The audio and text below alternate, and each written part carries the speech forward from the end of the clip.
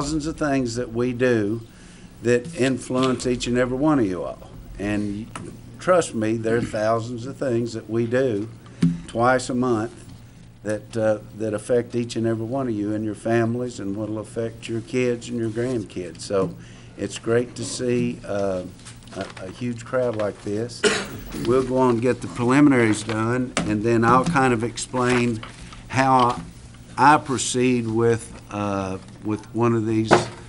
It's really a hearing, and it's an argument of, did the planning commission make the right decision, or did they not?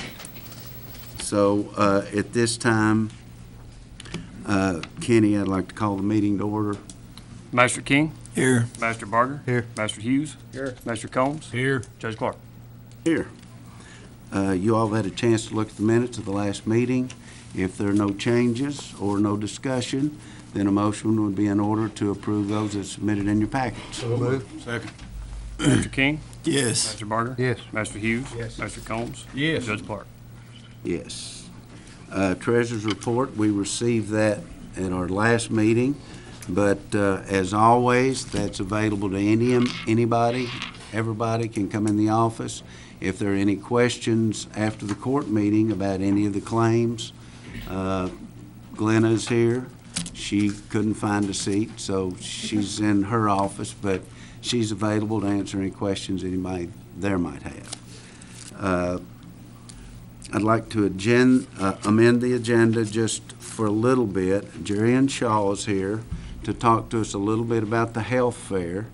And uh, I'd like to ask, before we get into the business, that Jerry can come up and talk to us a little bit about the health fair. Thank you, and I'll make it brief. I know you guys have a lot of business to cover, but we did want to announce the health fair. Pattie A. Clay Regional Medical Center partners with the Altrusa Club of Richmond every year for an annual health fair. It's the largest health fair that's held in Madison County, so we want to make sure and invite everyone out to this event. This year it's going to be on April 19th. It's a Thursday. We start at 6 a.m. in the morning because we do blood work for um, some of the visitors that come into that, and they like to fast. They have to fast for some of these blood tests. So we start at 6 a.m. and it goes until 1 p.m. Um, we have several free screenings um, that are offered that day, and then we also do some optional blood tests, a full metabolic and lipid profile for $15, which is a really great deal. Um, so we, we come in, we do your blood work, and then we've got some snacks for you because if you've been fasting overnight, you're quite hungry, and then we mail you your results. So it's a great opportunity for you guys to take advantage of this. So we hope to see you guys out there on April 19th at the Richmond Mall, and that's the old Richmond Mall that's on the bypass behind Red Lobster. Okay. Thank you. Thank you, Jerry, and we appreciate you coming in. And we hope everybody can get involved in that because uh, we know how important our health is. Dr. Miyake, don't we? Okay, first on the agenda, land use change. Keaton Excavating, 1721 Barnes Mill Road, UC7 Ag to UC4 General Commercial for 2.12 acres. I'm going to go over the Planning Commission's recommendation first, and this is the procedure that I'm going to follow today. I'm going to allow, apparently, we have attorneys representing Mr. Keaton here that would like to argue the case, and then we have an attorney representing those residents on Barnes Mill. Now, I, I don't open it up to everybody standing up and screaming and talking. I think if we've got representatives, legal representatives from both sides, then I think they are very capable of speaking on behalf of both their clients. So I'm, I'm not going to open this meeting up and let everybody in the crowd stand up and start talking and telling what a wonderful guy Mr. Keaton is or what a hazard it is to the residents of Barnes Mill. What we're going to do is, this court is going to listen to the, to argument from both sides, and then we'll make the decision whether the planning commission, uh, did the, the right thing, whether they made the right decision according to our comprehensive plan and to our regulations that we've had in place since 1997. So I'm going to read this, go over this a little bit. As a result of a public hearing held on February 21st, 6 o'clock in the fiscal courtroom. The Madison County Planning Commission heard and reviewed the following application for an amendment to a land use management change.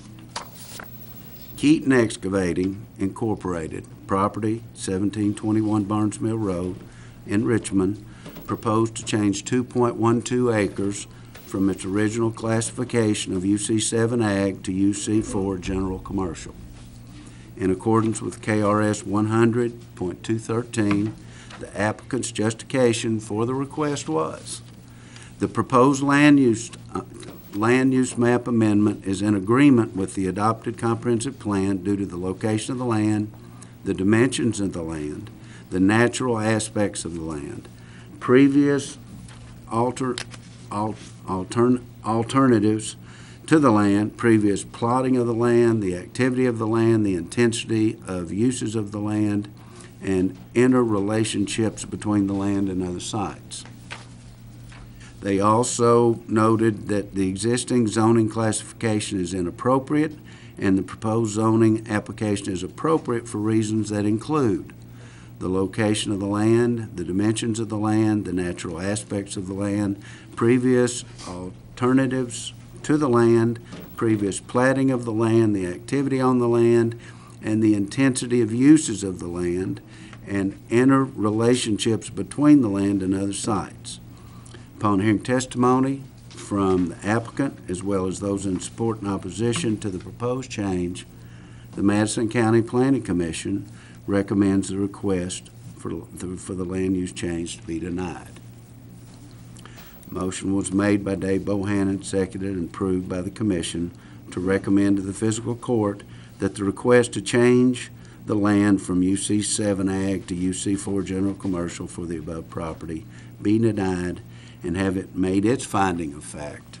Its finding of fact was the land use change request is not in agreement with the adopted comprehensive plan and that is outlined in the Madison County Land Use Regulation, Section 4023, page 28, land used for commercial proposes shall be located at the intersections of major highways or wherever major highways intersect with other important connector or connector roads. Site requirements for commercial uses shall include water for fire flow, waste disposal, uh, and that's sanitary sewer, regional sewer, and the the necessary utilities is stated in section 402.3, land use regulations. Commercial uses located along major highways shall be located adjacent to existing commercial uses. This property is surrounded by agricultural and residential uses only and is not closer than approximately two miles from any other commercial use. The property is located on the far most outer edge of the urban corridor and is surrounded by agriculture and residential. Section 402 of the Land Use Regulations state accordingly, residential land use shall be given a great deal of special consideration in the overall development taking place in a given area. Uses that are detrimental to residential areas should be discouraged or shielded from residential areas in such a way as to mitigate any detrimental effects. The approval of commercial use zoning adjacent to residential uses must not be con- conducive to the residential area.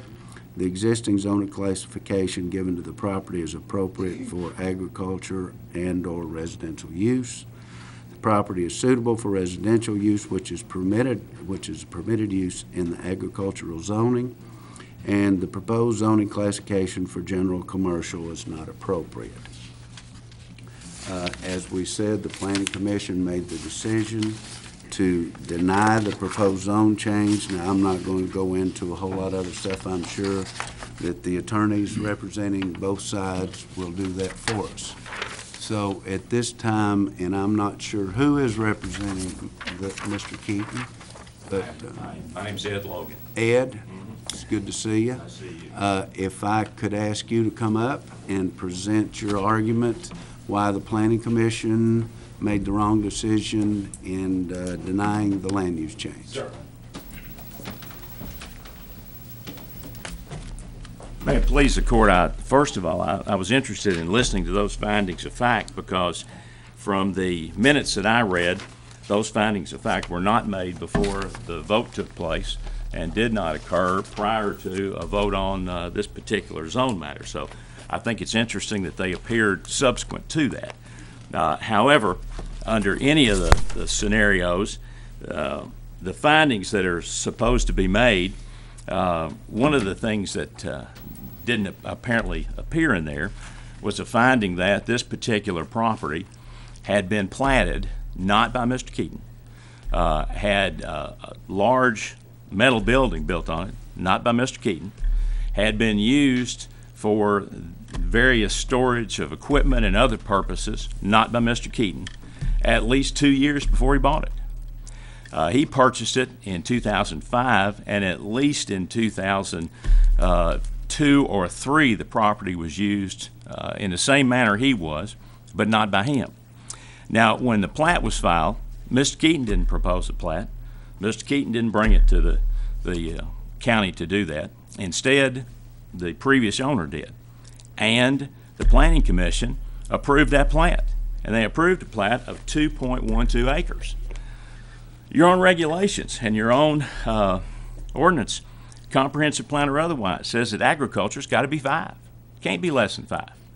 So from the very start that we're looking at this, we have a two-acre tract zoned agricultural that can't be agricultural under your own regulations and under your own comprehensive plan. Mr. Keaton moves in, has paid for his licenses, and has been operating his business there since 2005 every time that something occurred, whether it was uh, gravel that was put down, the planning office went out and looked at it, approved it. If it was concrete that was put down, planning office went out, no complaints from the planning office, no notices of any violations, nothing. Lighting put up, same thing. Uh, all along, he's paid for and had a, a license to operate and has been operating. And at some point in time, recently, it became a problem with uh, some or one or more neighbors. There are a lot of people obviously in opposition to it now. But he operated there as his business for several years prior to doing that.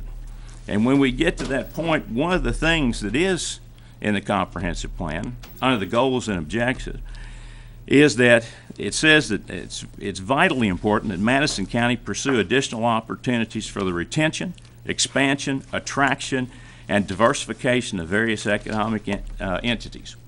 The comprehensive plan also notes that there is a need for growth of clean, light industrial. Comprehensive plan also notes that 66% of the urban corridor, which this is in, uh, is underdeveloped. Planning Commission notes that they want to retain businesses. That's part of the, the plan on page 19, retention and expansion of existing businesses, diversification of the economy, and uh, into different sections of the uh, plan. So Madison County has noted that their agricultural land is going down. Their agricultural demand is going down. And they have put in their goals and objectives. We want to bring in businesses. We want to keep the businesses we've got, and we want them to expand. That's part of, the comprehensive plan is not a straitjacket. The comprehensive plan is a guide. The comprehensive plan in this case gives the flexibility to look at existing businesses and to be used that way. And in this particular case, this is an existing business. And yes, he did expand his business. Uh, all along, coming in openly, he's been, uh, I don't know how many times the planning office has been out there for various complaints. Uh, every time they go out and look and go, okay, that's, that's fine, move on. Uh, he has absolutely done nothing intentionally uh, to hide anything. He's been open. He's had advertisements in the, in the newspaper. He's run his business there since 2005. And now he's told that it's agricultural and what has been there really shouldn't have been there, really shouldn't have been permitted before you got it. So it was being used before 2005. He didn't put that building up. He didn't store things in it. He didn't have equipment out there then. Somebody else did. And now he's come along afterwards and being told, I'm sorry, uh, it's wrong. So he applied for a zone change, which he thought was the next appropriate thing to do. And in that zone change, if you're going to have any type of light industrial, this operation is about as light as you're going to get. This is not uh, a heavy uh, uh, industry type manufacturing center where people are coming and going all the time. This is a come in in the morning and get their trucks, head out to work, and come back and put them up in the evening. It doesn't get much easier than that.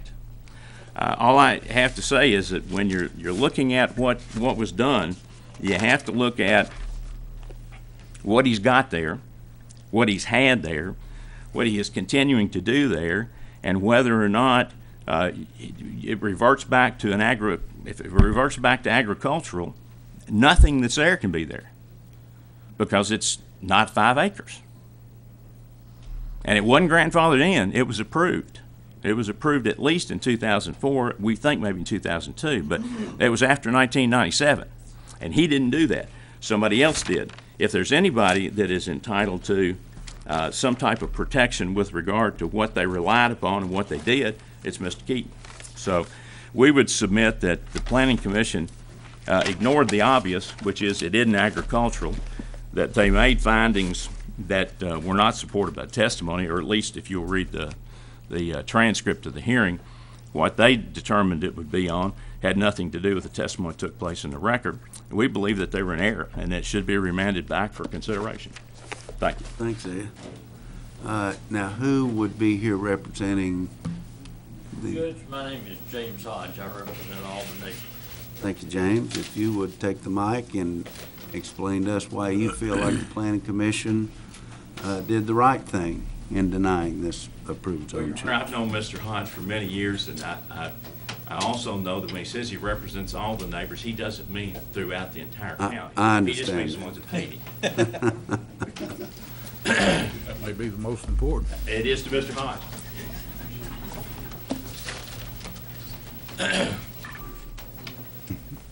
Do I? Uh, no, you can go ahead and flip it. Here you go, Dwayne. Judge, uh, members of the fiscal court, as I said, my, my name is James Hodge. I represent the neighbors. And, uh, it's an honor for me to be here in Madison County. I don't know, uh, whether this is appropriate or not, but how many of you all know where Poosey Ridge is? Everybody here know where Poosey Ridge is? I just married a girl from Poosey Ridge. You what? I just married a girl from Poosey Ridge. And still And- I with might say it was my first wedding after 59 years. and still together. So, so she's, so she's a good girl. And, uh, you know where Page Hill is? Uh, Matter of fact, we just got appropriation from Frankfort to redo Page Hill. And, uh, uh, Mr. Mr. Logan and I, for- since a disclaimer, by the way, we're, we're classmates in law school. We started law school the same year, we graduated the same year from UK. Uh, not, not, not that it's got a great deal of bearing That on wouldn't be a this case. conflict, would it? Yeah, yeah, it's a conflict, yeah, it's a conflict. We Not- went to different high schools.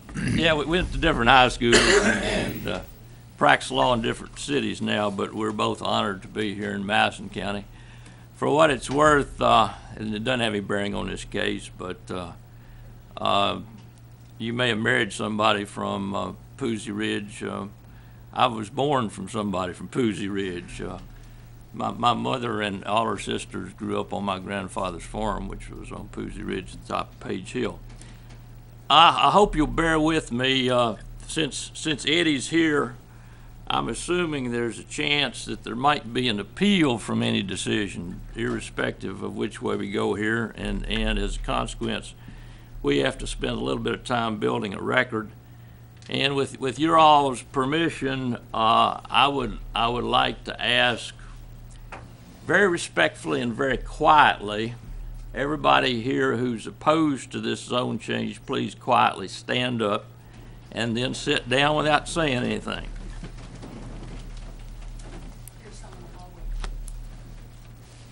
Thank you.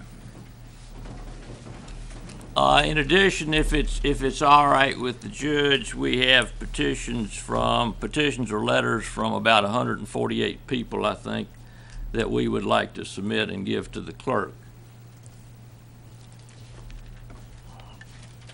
And I understood that, uh, Mr. Curry is gonna make a short presentation afterwards, Yes, sir. but that I could confirm certain things that were in the record before the planning commission with Mr. Curry. Is that permissible, Judge? That's permissible as long as you don't get too windy. All right, we, we- we'll be real short.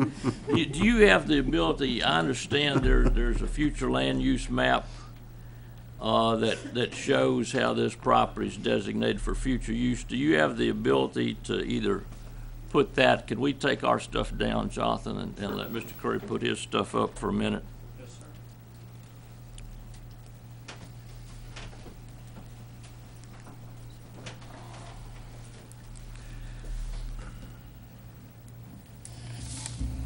These fellows are here to provide the technology because neither Mr. Logan and I have any idea how to do that sort of stuff, being that we're old guys. I don't either. I'm probably as old as both you all anyway. You've managed to keep your hair color a lot better than we have. And I've never, I've never put anything on it either. Ask my hairdresser.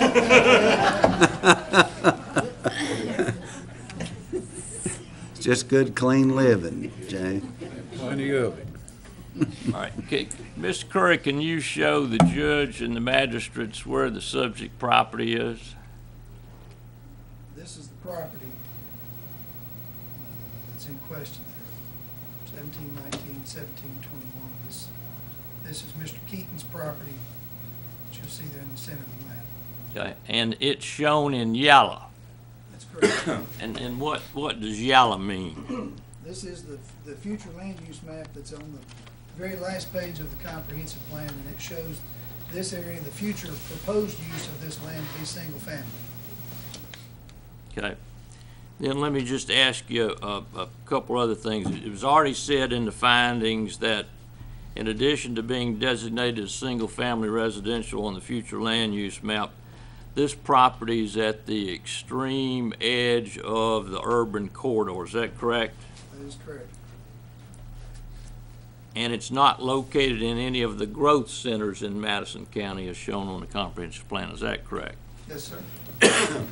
And Barnes Mill Road is designated as a rural minor collector in the comprehensive plan, is that correct? And there's no intersection of another major road with Barnes Mill Road at the point where Mr. Keaton's property is located. That's correct. And the closest commercial property to Mr. Keaton's property is about two miles away. That's, that's, that's what was stated in the planning commission. Okay. At the time of the adoption of the comprehensive plan, there were approximately 53,000 acres of land in the urban corridor. And if I recall, at the planning commission meeting, there was testimony that approximately 36,000 acres of that land remains undeveloped in the urban corridor. Is that correct? Yes, sir. Okay. And since the adoption of the 2010 comprehensive plan, there have been no major changes, social, economic, so forth, out in this area, have there? No, sir. Okay. All right, thank you, Mr. Curry. Uh, Let me go as quick as I can. As I said, I need to build a record. Uh, We're not going to have any testimony, we're not going to put on any new proof other than what was at the planning commission. We will go through and explain for the judge and, and the magistrates uh, the impact of what was presented at the planning commission. And Jonathan, if you could go to uh, tab one, which is the required findings. He told me he could do this real quick now.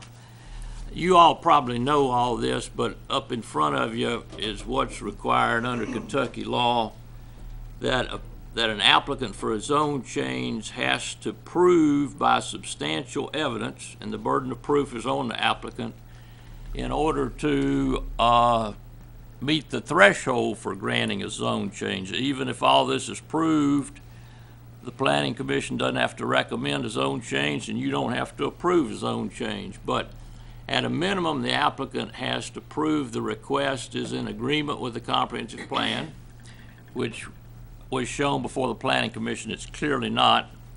That, or that the existing zoning is inappropriate and the proposed zoning is appropriate, or there have been major changes of an economic, physical, or social nature which are, which are not anticipated in the current 2010 comprehensive plan, and which substantially altered the character. Now, before the planning commission, it was plainly shown that none of these were met, met even slightest, in the slightest form or fashion met. Jonathan, if you could go to, well, I changed mine, go tab two. Case law in Kentucky, specifically case of Mc- McKinstry versus Wells, says that in determining whether a zone change is in accordance with the comprehensive plan, you've got to look at the entire comprehensive plan. And Mr. Logan did a good job of going and picking out some things of the goals and objectives that would lead you to think that the comprehensive plan might suggest that this change was in agreement with it, but you, but you have to look at the entire plan. That was pointed out by some of the commissioners at the planning commission meeting, as a matter of fact. And as we go through this, we'll show you that this zone change clearly does not comply or is not in accordance with the comprehensive plan. Jonathan, if you could go to tab three. The, these are findings of fact that we prepared before we knew what type of hearing you all wanted to have. And we're perfectly comfortable in you using the findings of fact that were prepared at the planning commission, or we're perfectly comfortable in you using these findings of fact. But I put these up here and, and, and we may need to, un- unless all these folks can see a whole lot better than I can, we probably need to blow that up a little bit. But, but going down through here, I'd just like to walk through you quickly what has been shown at, at the planning commission meeting and why the planning commission made the correct, correct decision. Looking at, at number one, number one is a finding that the requested change is not in accordance with the comprehensive plan because it conflicts with all these provisions that are listed here.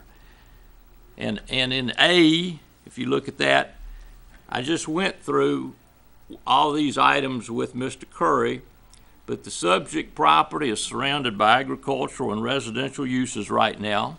It's on the extreme outer edge of the urban corridor. It's not located in any of the growth centers in Madison County that are shown on your comprehensive plan. And most importantly, most importantly, it's designated for single-family residential use on the future land use map of the Madison County Comprehensive Plan, which is the last page in your comprehensive plan. In other words, when it's shown in yellow on that map, it means that as part of the planning process, it's been decided in Madison County that the appropriate use for this property in the future is single-family residential, not commercial. So that in and of itself shows you that this change is not in accordance with the plan. But to amplify on that, if you go on through B through E, the plan requires for commercial property to be at intersections of major roads.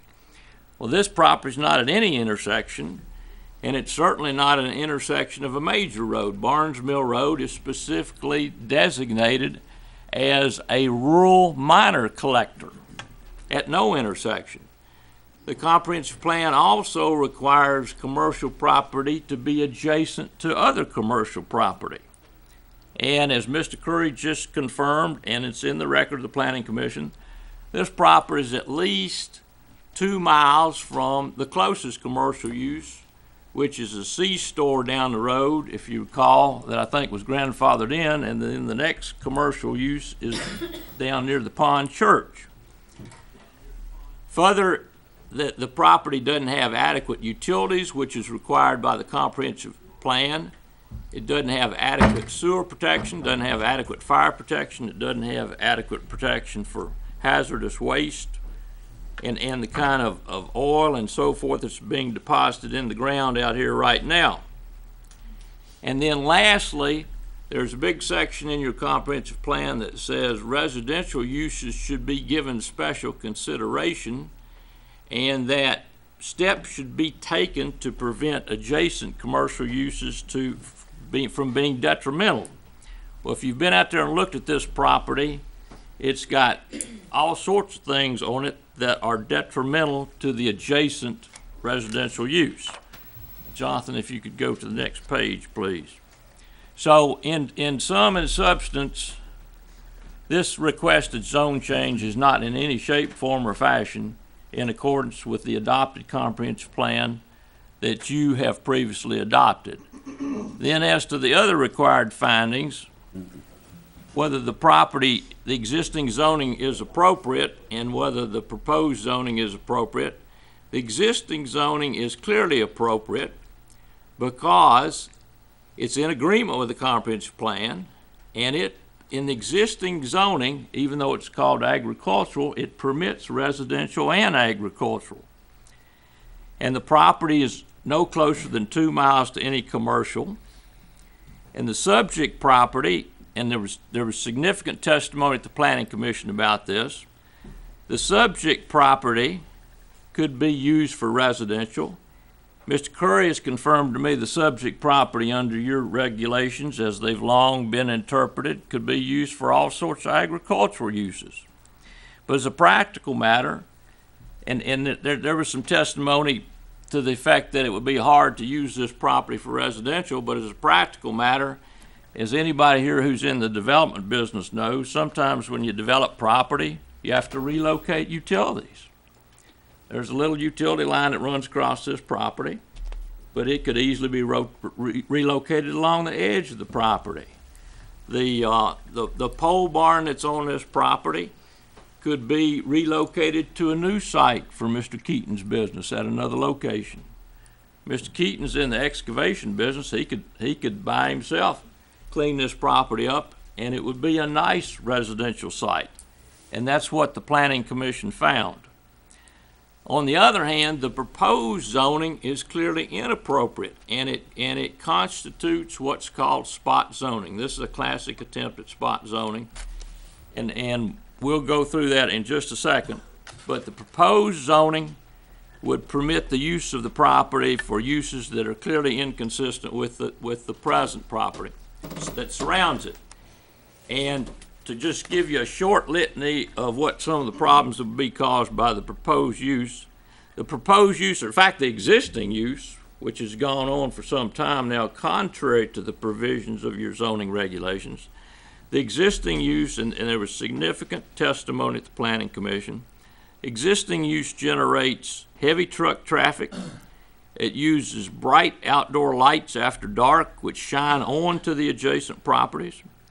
It emits loud noise from before dawn until late into the night. There are big diesel trucks up there, and they fire up in the morning before dark. They're going over there after dark at night. It produces noxious odors from diesel fuel and exhaust fumes, and it discharges oil and so forth into sump pumps on the property where there's no sewer system.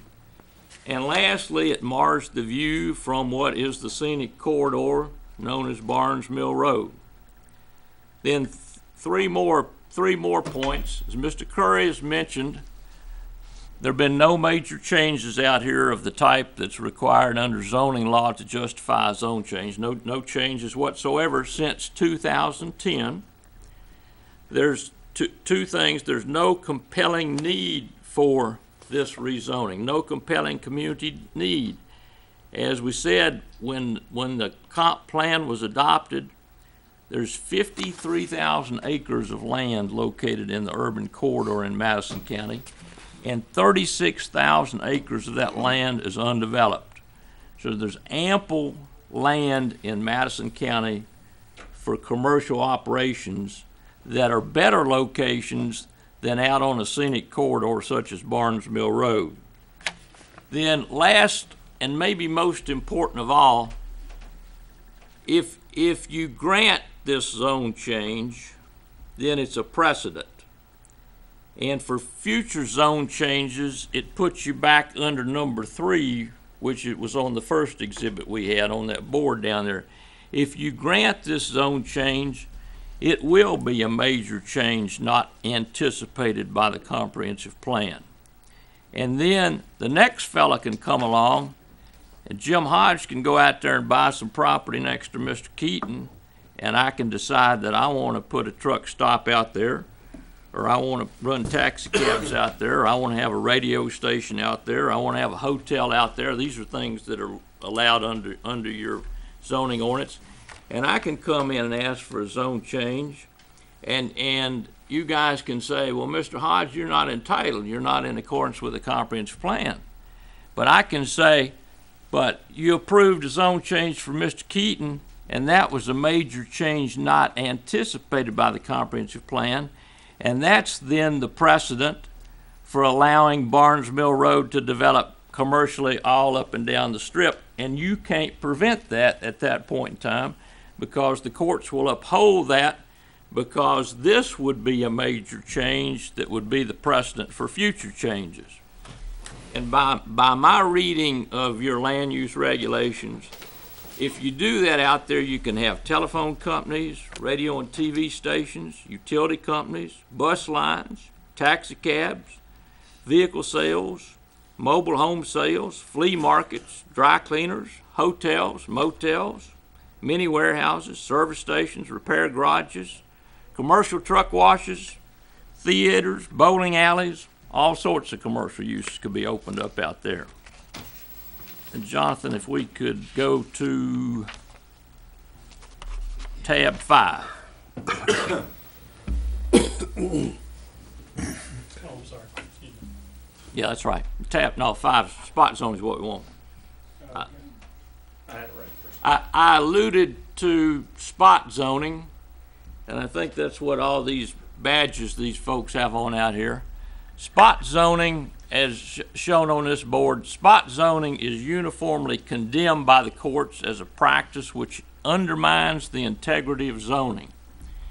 And spot zoning is rezoning a little tract of land out in the middle of other tract of land that's not consistent with the comprehensive plan and is not consistent with the character of the neighborhood. And that's exactly what this request is. It's a request asking you to approve spot zoning out in the middle of, out in the middle of an area that's residential and agricultural for commercial.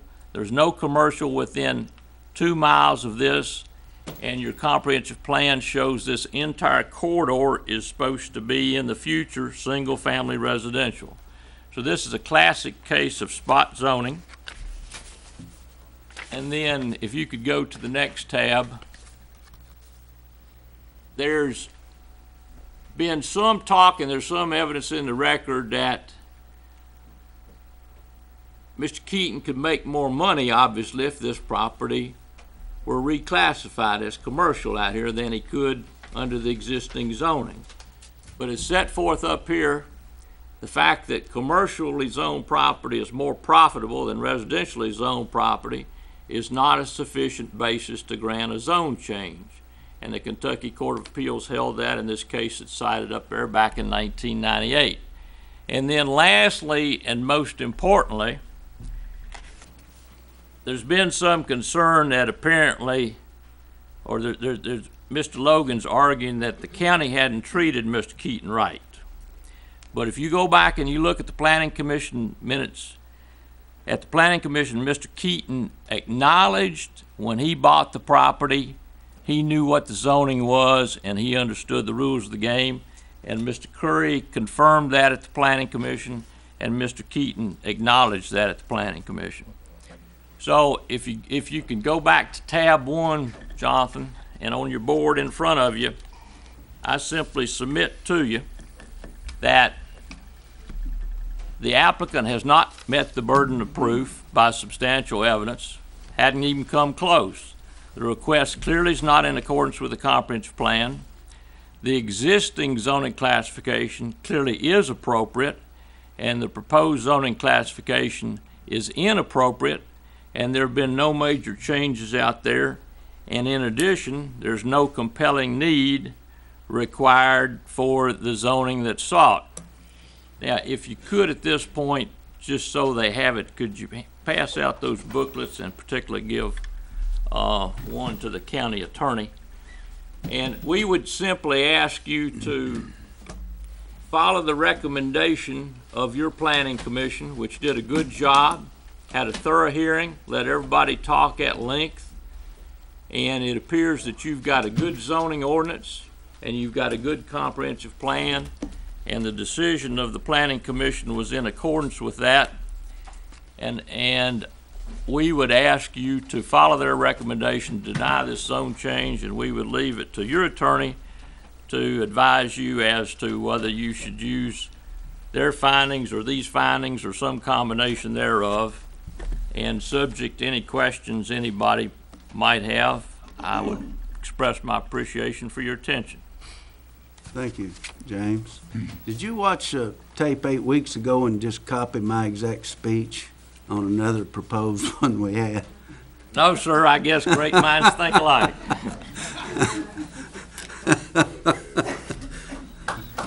Okay. Wayne, do you want to come up and let's, let's address some of the comments made by, by, by Ed and James?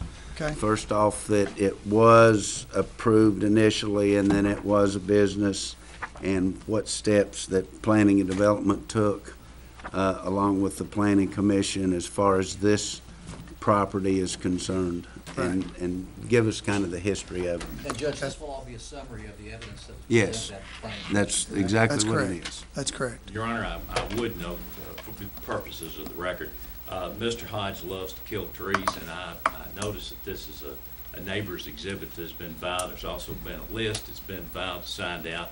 I would object for the record to any of that being introduced, because that's newly introduced evidence that was not part of the consideration by the planning commission.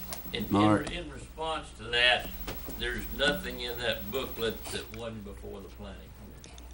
It's just part of my argument and demonstrative aids to my argument. Objections noted, Judge. I think Mr. Kerr can proceed. Okay, Dwayne. Okay.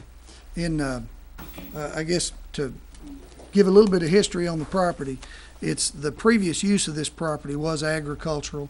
Um, The, the, the coming of the uh, metal storage building was a result of an existing barn being burned down on a farm, and Darvis McIntosh was the owner of the property at the time, um, reconstructed the barn as a metal building, um, back at that time, and it was on an existing farm. Uh, Mr. McIntosh was the one, and he got an agricultural exemption for the barn, saying it would be used for agricultural purposes. Uh, Mr. McIntosh did own the property previously and had begun to use the property for commercial purposes, for which we began to receive numerous complaints. Uh, we followed up on that. In uh, 2004, Mr. McIntosh uh, requested a, a zone change of the property to rezone it to neighborhood commercial, uh, which was ultimately denied at that time, and that was in 2004. Um, Mr. Keaton uh, purchased the property in 2005, and um, uh, Mr. Keaton and I had had numerous conversations before he bought the property. He was aware of of the fact that Mr. Mr. McIntosh had used the property for commercial purposes, and we shut it down, and that was the reason that he was uh, selling the property at that point. Mr. Keaton's intentions originally was that he was going to build a, a house for himself there and utilize the building to store his equipment in, which would, would render the building as a, an incidental use and not a primary uh, or principal use of the property for commercial purposes. In 2007, Mr. Keaton presented a zone change to rezone the property to neighborhood commercial uh, for the God's Outreach Community Food Bank, um, of which the zone change was denied uh, at that time, stating that, that it wasn't appropriate for commercial purposes. Um, once we realized, once the as the zoning office, once we realized that Mr. Keaton uh, had no intentions of constructing his own principal residence on the property, and we kept receiving complaints on it, then we had to do something with it, and that's when we began to, to notify him that he was in violation of the, of the zoning regulations, and um, that's when he came back and applied for this new zone change. The, I think it's, it's been clear in the record what the planning commission's recommendation was, um, and that the, the planning commission feels the property is more, that the existing land use classification is appropriate um, because of the findings of fact that, that were made and have been stated that the land use change is not in agreement with the adopted comprehensive plan and that it, uh, it's not located at, at intersections of major highways, um, that it doesn't have the necessary utilities for commercial uses, and that, um, um, that it's, it's not adjacent to other commercial uses. It's on the, the outer edge of the urban corridor and it's surrounded by ag and residential uses. And that, uh, to, to rezone this for commercial does not, uh, protect or does not give special consideration of the residential property that adjoins it. And that the existing zoning classification is appropriate for ag or residential uses. And that the uh, proposed for general commercial is not appropriate. Okay. I'm gonna open it up now. Ed, you and James don't care to, if any of the managers have questions to ask you all, are y'all okay with that? Greg, I'm gonna start with you. Have you got any questions for Dwayne or Ed or James? I came to the plain zoning meeting when this was brought before him, and the fact that, ju- just to clear up with me, is uh, Mr. Keaton did know that it was turned down, and it wasn't business zone, right, when you purchased the, When I purchased it, I, yeah, when I purchased it, I didn't know it had been run through. I, I, when I purchased it, I had no idea it had been run through any planning and zoning.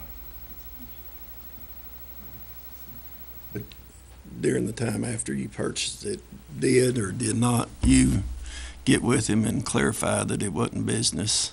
Yes. Judge, I, I don't know what's appropriate here. What he just said is in conflict with what he said at the planning commission. And we've got, you've got the minutes there, so. No, sir, it's not, excuse me. Well, we're, we're, now, wait now.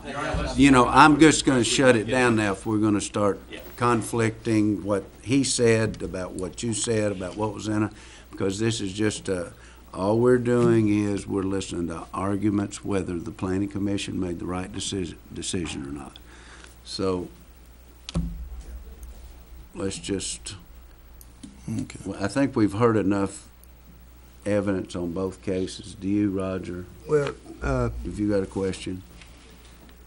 I feel like I go, gotta go by what the, uh, commission has done in the past, not what they did this time, but what was done in the past, simply because, uh, Mr. McIntosh came to us and, uh, wanted his own change like Dwayne had told us, and before we ever got to court, he pretty much knew it wasn't gonna pass. And he was wanting, uh, if I understood the last time we voted him down, was, uh, for storage, for campers, boats, whatever, to be put inside. And uh, we had enough knowledge to know that we needed to ask him, what are you gonna do with the property outside? And he said, well, I'd be parking them around there too and renting. And we said, no, that's, that's, that's not gonna happen. Uh, it was just a consideration that we'd let him put them inside. And we didn't even know if that would pass or not.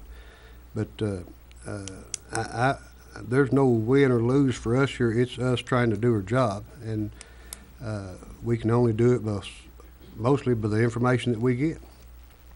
Um, I hate to see a gentleman that, uh, that's working hard and got a business and trying to pay his bills like all of us are doing, lose his business or have to move it. Whether it'll financially cost him so much that he can't go to another location, I don't know. Uh, But I think we've got a good argument on both sides. But I think the, uh, planning commission has to do what they gotta do. Okay. Billy Ray, you got any comments?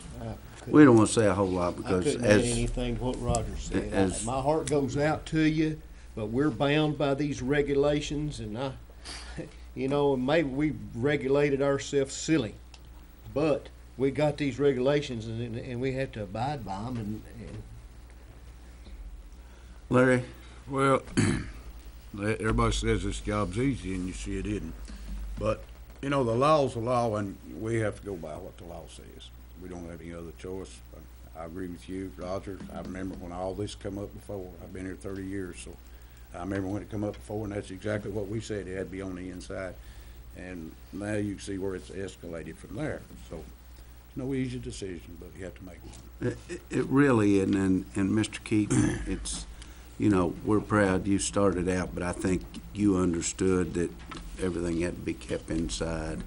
And then all of a sudden, because I do go to Poosey Ridge on a regular basis, you know, like two or three hundred culverts piled up and tractor and trailers and trucks and coming in all hours of the evening and stuff. And, and I really believe probably at first, because you were running such a small operation, that the neighbors really wasn't a big deal with a couple of trucks and you were leaving them inside at night and stuff. But, I mean, I think, I think you have to admit that you've expanded uh, a great business. I mean, there's no question about it. But uh, the regulations are the regulations, and, and to me, all these people in here, and, and it's petitions and books and stuff, I, I don't pay any attention to those. I pay attention to what our comprehensive plan says, and I think that you were very much aware of, when you started expanding, you knew exactly what you were doing. But that, that's, that's beside the point, it's just, uh, Barnes Mill's a nice area. It's all subdivisions and homes, and uh, it, it's kind of your business has got a little out of hand, I think. So that's all I'm going to say. And Kenny, I, I'm not going to take any further comments. I'm just going to ask for a recommendation from one of the fiscal court members as to accept or deny the uh, the uh, proposed. The roll uh, call? Yeah. I'll make a motion to uphold the plan zoning recommendations to deny the pro, the proposed change. Request and support the planning commission's finding of fact to deny the zone change request. On finding of fact of the planning and zoning, Greg.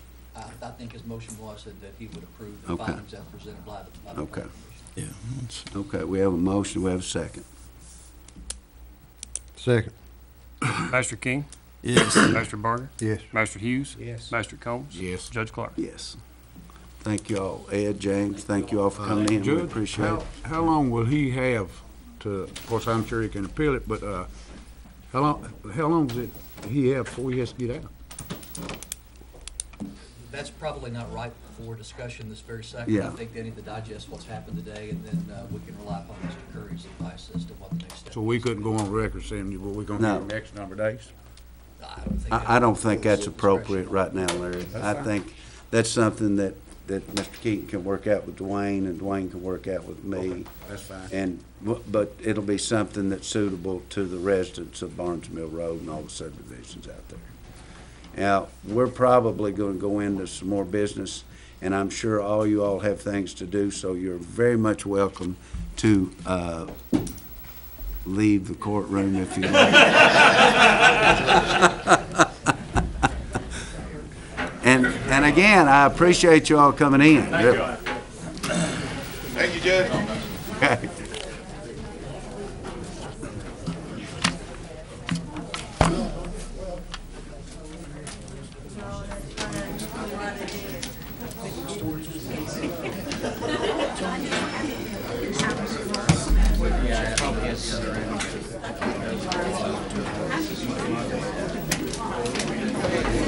Because he's a hell, hell a good lawyer.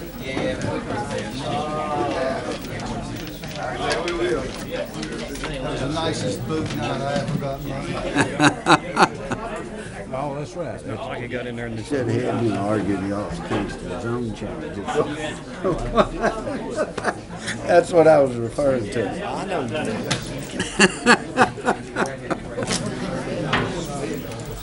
That's the, but this ain't going I know, I know, I'm just kidding.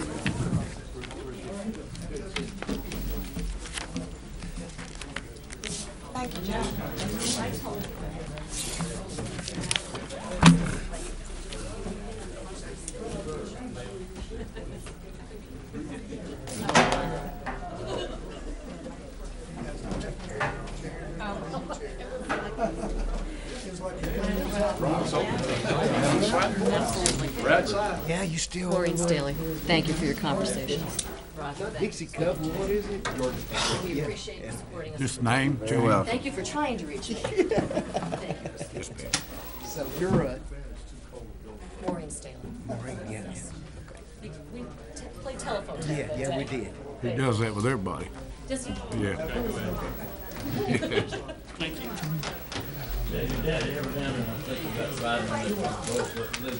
need to go see. He, he loves I got a, I got an office full Yeah, of same department place. heads. Combs Lane, they're all about town. We may have to have a bathroom there to get rid of, clear my head out. I'm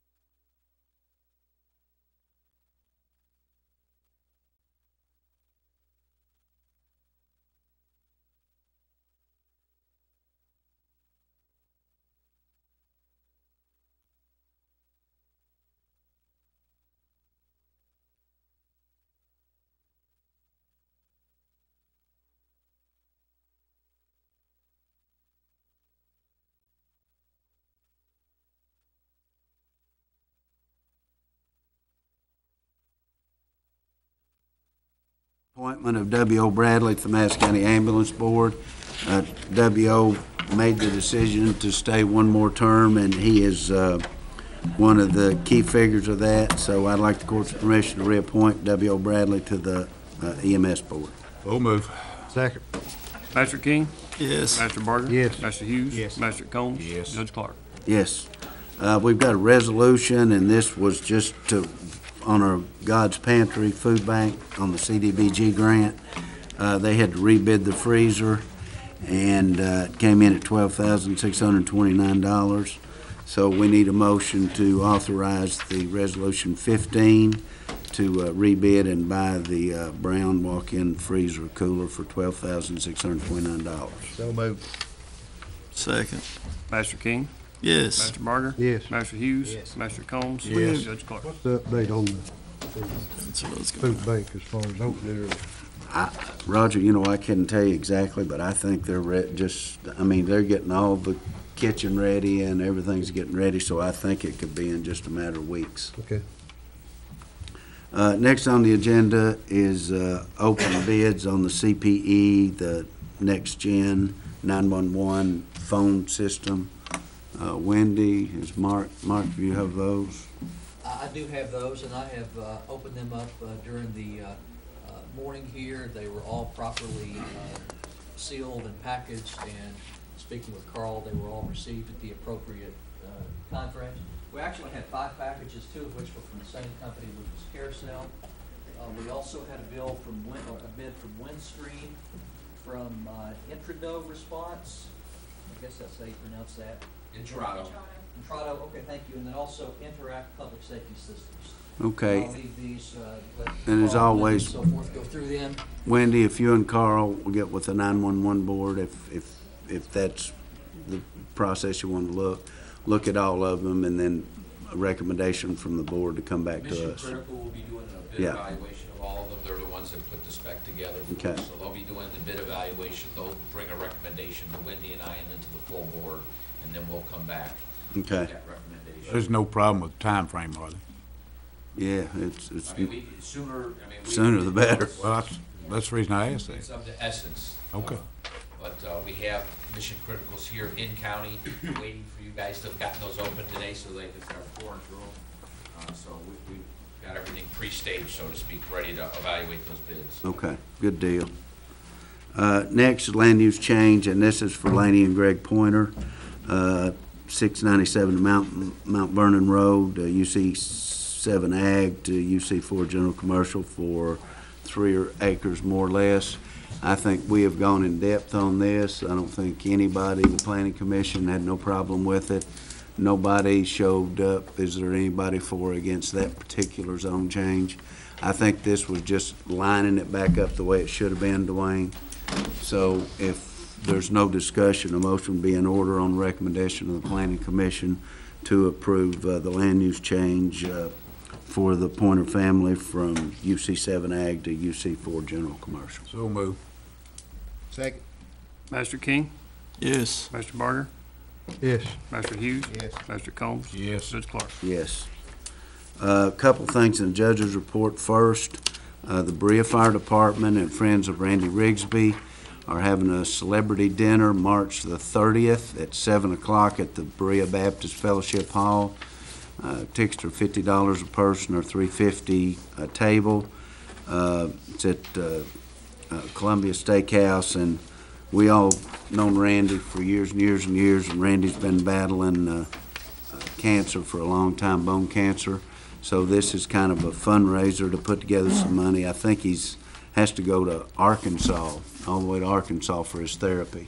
So uh, want to invite everybody out to that. Uh, Second was the Humane Society, and this is always a huge event. Uh, Fiesta Bowl, Chili Supper, and silent auction. And this is uh, Friday, April 6th at the Russell Folk, uh, Acton Folk Center in Berea. And they always get a great crowd for that, and that'll be something interesting. Uh, The golf report, uh, Clay's got that in your packets for y'all to look at.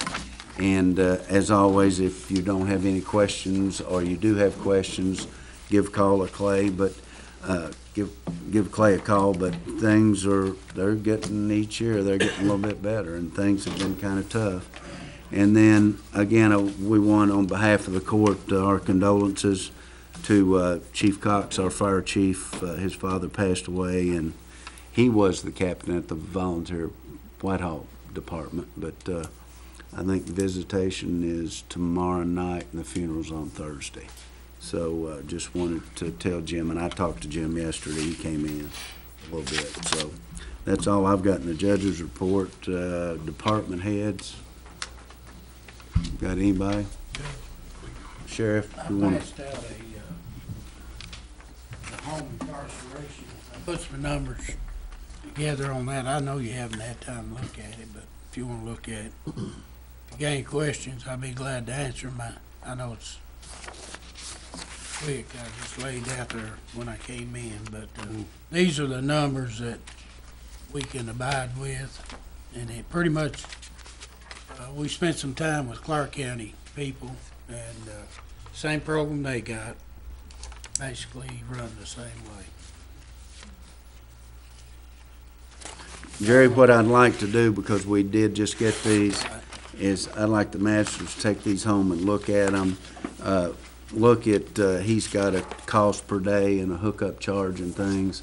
See if you all agree to that, if you feel like maybe we can lower that a little bit. Uh, what we're trying to do with this program is break even.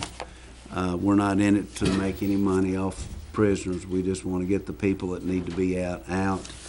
Uh, So I think it'd be good if y'all Well, it's broke down for the uh, initial cost and then each year thereafter, which cost will go down. hmm A And, lot of it depends on how many people you wanna try to get in the program. Well, you know as well as uh, anyone, it- the more you got in it, the more it's gonna take to run it. True. I mean, you can't run it on a full-time and part-time. If you- I'm sure you probably could pay probably twenty-five, but if you get out thirty or forty, then it, uh, the cost will have to go up. But like you also said, you start out at the, the largest cost uh, up initially, then you know you're not gonna have that the next year. It'll go down and down. That's correct. But, uh, and Jerry, did you, have you talked to Chris about these prices, like on the laptop stuff? That's the only thing I haven't. Uh, Chris was gone, I didn't get to Okay, confer you- with you need to him. get with Chris. I'm sure we and- might be able to save some there. Yeah, and look at uh, some of those things. Uh, Let the magistrates look, and uh, hopefully in two weeks, uh, we, we've got to meet about some things anyway, and we'll talk about this, and maybe we can all come up with uh, I'll be something. glad to answer any, uh, anything you have. That's, that's the best that we could come up with at the time. Well, I, I think you put together a great report, Jerry, just, I want to thank Michelle Iverson for doing a lot of the legwork. She went, uh, spent all day with them, Steve Noble, and went through the program, how it, uh, operates and everything, so we done the best we could, and Okay. hopefully that'll that's out fine. There's y'all's just a few benefit. things me, mi- we might want to tweak, and then see, uh, see Chris about the committee, because he can probably save some money. I think so. Okay, so we're just gonna table that. You all, all got copies of that that you can take home with you, look at? Okay. Uh, any other department heads? If not, uh, comments from magistrates, Greg, do you have anything? Uh, it's just, uh, I see Ward Keith's been busy at the animal shelter, so, uh, you know, different things as all departments do, they do a good job. Just appreciate them. So, That's all. Roger? Doug, you're getting more cameras, aren't you? You will approve it, yes. Got a letter, I think we all got the letter from Doug about the additional cameras that he's needing. He also informed Greg and I, he might not have told the rest of it before court, I think he's bringing some money back to the county. Uh, But uh, I guess we need to approve those cameras, don't we? Well, how will they be paid for? Commissary? Yeah. Yeah. Yeah, I've, uh, I'll give Glenn twenty thousand today. You didn't tear it check up before you made it over? You didn't tear it check up before you made it over? Oh, okay. I think it's forty-three hundred and some dollars. We, we don't have to approve it as long as we know about it. I mean, anything under twenty, but if, now, if you wanna make a motion, I'm fine with that, Roger. I'd rather make a motion that we approve the cameras. Okay. What was the total, forty-three ninety-six or something, I believe? I think those tough security clear help. She's Okay. already solved some of them there. Second. Master King, Yes. Master Barger. Yes. Master Hughes. Yes. Master Combs. Yes. Judge Clark. Yes. Okay, anything else, Roger? No, Ray? You know, I like what, we had all these people come in today and, and we say we'd like to have more citizen input. And I wonder how many, I know Chris not in here, how much traffic we get on our Madison County website? Do you have any idea? I mean, it, it's a pretty good, it's a pretty good website. But one of the things that we could do is, it, takes some surveys or informal polls by put, posting a question on the website and just get, get where people, what people are thinking about a particular issue. Uh, you know, sometimes not everybody gets on the internet, but, but I, I know that this involving the citizens in what's going on, that would be a very powerful thing for us to do and, and to start with the, with our county website might be a pretty good place, and I don't know how feasible it is to put a survey question on there and, and, and collect some information and see, see what the response is. It's, But, uh, it's no problem So, uh, it'd be worth looking at. He just walked in if you want to ask him that question. There he is. I'll be talking to you in just a few minutes. I was listening. It gets about six hundred hits a day. Six hundred hits a day. Good. Okay, anything else, Bill Ray? Nope. Mr. Coleman? Uh, yeah, two things. Uh, Scott, where we at on our truck? How much it gonna cost us? I know what's cost us to pick these animals up. Larry? The, um, the animal truck is in the shop getting worked on right now at Lexington Truck Sales. I had to sit it over there to get its final stage of fuel injection replaced. Uh, truck had, has had some problems since we took it over with, uh, uh, started with, uh, drag link and steering box and, uh, some fuel sensors, uh, progressed into HEUI pumps and stuff like that. Just had to get it straightened out, but after tomorrow, when we get it back, should be in good working order and ready to go. How many miles ago in truck, Scott? Uh, by my tracking, 270,000 miles, and it's about 10 years old, correct? Yeah. Now, Larry, for your information, I've talked to Eddie Warren and Richard Cobb and several that work with the tobacco settlement dollars. And the money's gone this year, but they feel very comfortable that there would be some money to help us buy a new truck next year. That be in like our July budget coming up. Mhm, Yes. Well, I- that's, that's the reason I asked you that question, because, I mean, you know and I know that's very important that we have that, and, uh, I'm not really comfortable with the company that's doing it, but I'm thankful they are doing it, let's put Yes. it that way. I've heard some complaints on that. You know, it's, we kinda go on the farm a little bit closer, but it's hard to tell somebody that lives up the lane to drag that calf down there on a Friday and not pick it up till Monday. I mean, that's just, that's not good. But I understand that those, those things do happen. And we ask for it to be, you know, closest to the I know. road and on, you know, adjacent to gravel or some gravel or hard surface to pick it off. Blacktop. I understand, but that's the only reason I, we need to address that. Well, you up here, I seen boys buying a tracking device. What's that for? For the, I've got a tracking device to track some of our vehicles to keep uh, keep tabs on them. Are we gonna do that to the whole countywide? Mm-hmm. Just in the process, Leroy's talked to me about it, and we're gonna put them in all county vehicles, so we know where they are, what time, what they're doing. And, uh, it's not that expensive, Greg, once you get the initial equipment in. Anything else for Scott, Larry? No, but I got a question for Dwayne. Uh, will you address the court on what I've been talking to you about? I know you get calls on it every day, and I just think it's something that we're gonna have to do. Yeah, um, uh, Larry had mentioned to me a couple different times, and I've brought it up to the planning commission, possibility of, of amending our subdivision regulations, because right now, the regulations, in order to create any new lots at all, they have to front at least a hundred feet onto a public road. Public road being one that's maintained using public funds, state, local, or what have you. Uh, as we know, there's, there's lots of people that have property that don't have adequate road frontage. If you've got farms and they want to cut off a, an acre or two acres for their son or daughter on the farm, if they don't have adequate road frontage on a public, or public road, then it violates regulations and they can't, they can't create another tract. Or if they wanted to do a mortgage survey and just cut the house and two or three acres off of a fifty acre farm, if they didn't want that to front on a public road, uh, or if the house was back on the farm and it wasn't feasible to get it frontage on a public road, then by our regulations, you couldn't do that. Uh, so the planning commission has been pretty, pretty strict with that, looking at it strictly in the black and white, because once you start creating that precedence and allowing this one to do it and not that one, then it becomes a big issue. So we are looking at it. I've presented a couple of proposals to the planning commission for their consideration. We are looking at possibilities of allowing uh, maybe one minor subdivision plat, which would be uh, being able to divide the property into no more than three tracts. They'd get one minor plat on their farm and front those, those two new tracts onto uh, a private road, but there'd be some stipulations that it could be never any further division and, and the But, road would and be Dwayne, private. fifty-foot right-of-way. That's right, that's right. I mean, do you, you have to have, that's what was started all this to start with. I mean, we used to do anything and everything on these little old twelve-foot roads, and then more people want to build, and more people want the county to take it over.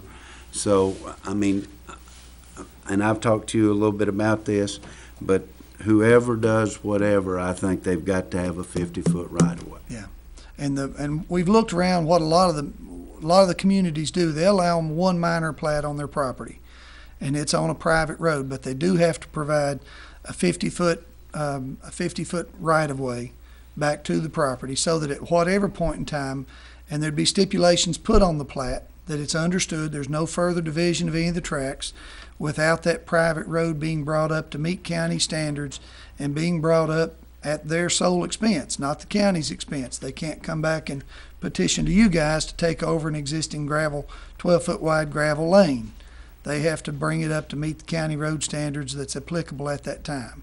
Um, How many calls will you get a week on uh, we get several. We get a bunch. We get, uh, you know, probably uh, anywhere from a half a dozen to a dozen uh, different questions like that, where where people are wanting to create, you know, attract. Mainly, it's it's families trying to create a place for their son or daughter to be able to, or their parents to be able to locate on their property and have a mortgage on a separate tract of land, but it just doesn't have the road frontage.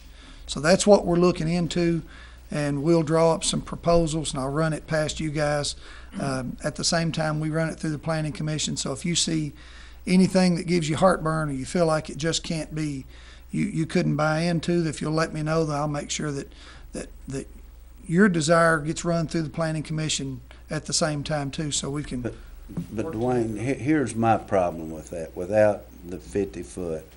I mean, we've got, and we had some developers, and I'm not name, naming any names, that went on, bought farms, put private road maintenance's agreement on them, sold them, well, sold them to family, then the family moves, they sell out, and then they sell it to somebody else, and then all of a sudden, these people are saying, I'm paying taxes, I don't want a private road maintenance agreement, even though it's on the plat, and even though it's in their deed, it's, we want the county to take the road over and stuff.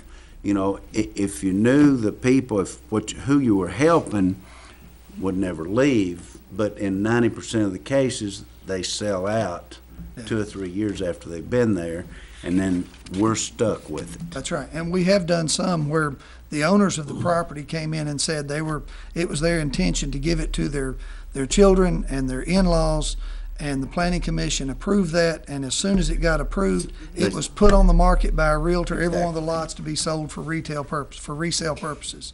So, you know, the planning commission have, and you all, by approving the regulations, we've gone full circle with this thing. We didn't, re- we didn't allow anything on a, on a private road. Then we changed the regulations and said if you're gonna do ten acres or larger, we'll let you do it on a gravel road. It's private road maintenance agreement, all this kind of stuff. And we realized real quickly they began to abuse that and they began to come back and begin to ask some of you to take the road over and blacktop it.